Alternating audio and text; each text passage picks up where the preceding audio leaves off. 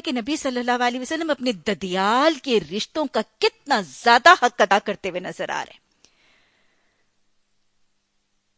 یہ بات پلے سے باندھ لیجیے کہ اگر کوئی خاتون، اگر کوئی بیوی اپنے شوہر کو اس کے بھائی، اس کی بہنوں سے کاٹ دیتی ہے۔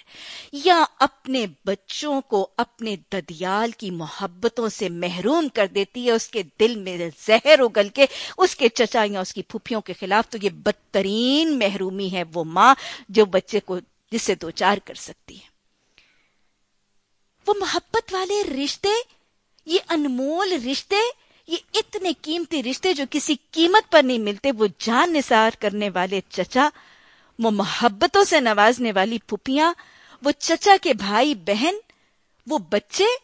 وہ جو زورے بازو ہیں اس معاشرے میں جو کسی قیمت پر نہیں ملتے، اگر کوئی ماں اپنی اولاد کو اس سے محروم کرنے کی سازشیں کرتی ہے تو وہ بدترین محرومی ہے، جس سے وہ اپنی اولاد کو دوچار کرتی ہے۔